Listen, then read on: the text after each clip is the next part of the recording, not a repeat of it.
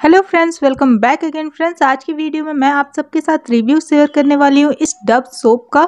और आज की इस वीडियो में मैं आपको रिव्यू प्लस डेमो दोनों ही देने वाली हूँ। कंप्लीट इन्फॉर्मेशन आपको बताने वाली हूँ कि इसे आपको सर्दियों में अपने फेस पे यूज़ करना चाहिए या नहीं करना चाहिए। ऑयली स्किन के लिए है या फिर ड्राई स्किन के लिए है।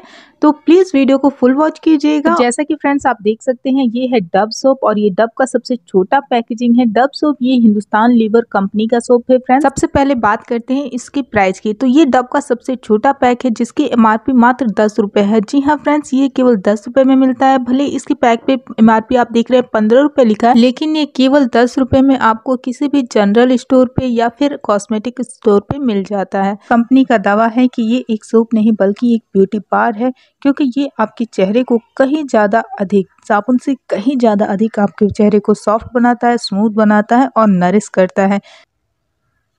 बात करें इसकी फ्रेगनेंस की तो इसकी फ्रेगरेंस मुझे काफ़ी अच्छा लगता है क्योंकि बहुत ही लाइट है। पहले ही मैंने आपको बताया कि डब के सारे प्रोडक्ट के फ्रेगनेंस मुझे काफ़ी अच्छे लगते हैं और इसका टेक्सचर जो है बिल्कुल क्रीम लाइक है, जैसे क्रीम होता है।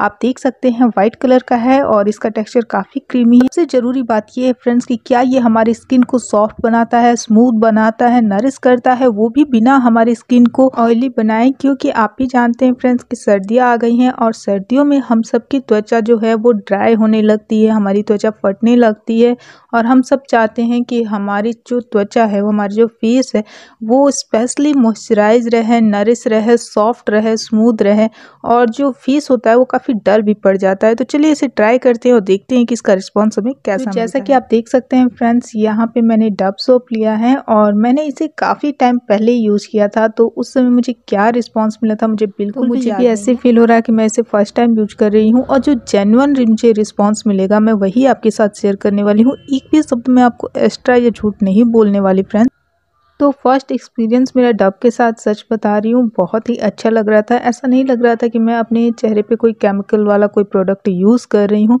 बहुत ही स्मूथ और बहुत ही सॉफ्ट लग रहा था नरिसिंग लग रहा था मेरा फेस इसे यूज़ करने के बाद मैं सच में बहुत ही ज़्यादा हैप्पी थी, क्योंकि इससे पहले जितने भी मैंने सोप ट्राई किए हैं, जब भी मैं उसे वॉश करती हूँ तो मेरा चेहरे से ऐसा लगता है जैसे जितने भी ऑयल होते हैं ना, जो नेचुरल ऑयल होते हैं, वो सारे वॉश आउट हो जाते हैं। बहुत ही डीप क्लीन लगता है मेरा फेस और एक ड्राइनेस महसूस होती है वॉश करने के बाद ही। बट इसे वॉश करने के बाद और लगभग तीन से चार घंटे तक मैंने वेट किया कि क्या रिस्पॉन्स मिलता है तीन चार घंटे में मेरे फेस पे। मुझे बिल्कुल भी ड्राइनेस महसूस नहीं हुई और वो जो सॉप यूज़ करती थी, मैं पहले की बात बता रही हूँ। जब मैं पहले लगाती थी, काफ़ी साल हो गए मैं सॉप नहीं लगाती अपने फेस पे कोई भी। तो मुझे हंड्रेड परसेंट ये शो पसंद आया है और आप सभी से एक बार कहना चाहूँगी कि आप इसे डेफिनेटली एक बार ज़रूर ट्राई करें अगर आपकी स्किन ड्राई है और फटती है तो सर्दी आने से पहले अगर आपको अपनी स्किन की केयर करनी है अच्छी वाली तो एक बार इस सबको आपको ट्राई करना चाहिए और ये मात्र आपको दस रुपये में मिल जाता है।